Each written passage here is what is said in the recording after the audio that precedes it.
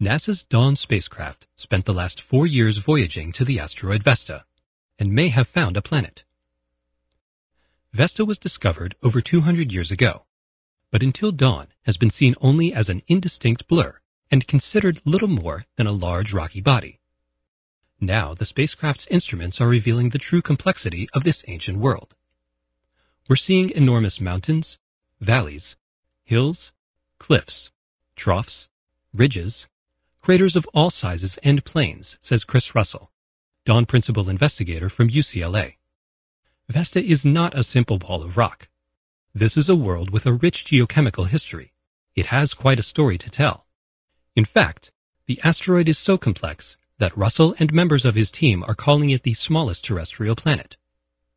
Vesta has an iron core, notes Russell, and its surface features indicate that the asteroid is differentiated, like the terrestrial planets Earth, Mercury, Mars, and Venus.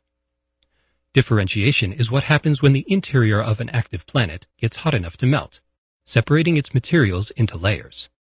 The light material floats to the top, and the heavy elements, such as iron and nickel, sink to the center of the planet.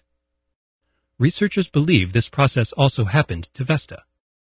The story begins about 4.57 billion years ago, when the planets of the solar system started forming from the primordial solar nebula.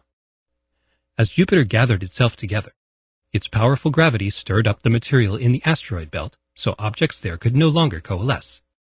Vesta was in the process of growing into a full-fledged planet when Jupiter interrupted the process. Although Vesta's growth was stunted, it is still differentiated like a true planet. We believe that the solar system received an extra slug of radioactive aluminum and iron from a nearby supernova explosion at the time when Vesta was forming, explains Russell. These materials decay and give off heat. As the asteroid was gathering material up into a ball of rock, it was also trapping the heat inside itself. As Vesta's core melted, lighter material rose to the surface, forming volcanoes, mountains, and lava flows.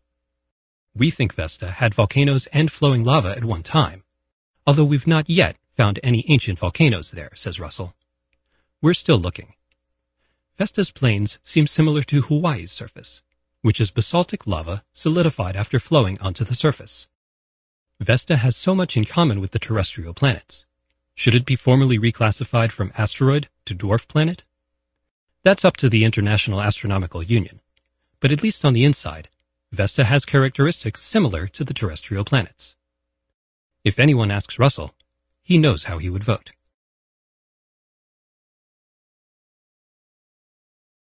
Música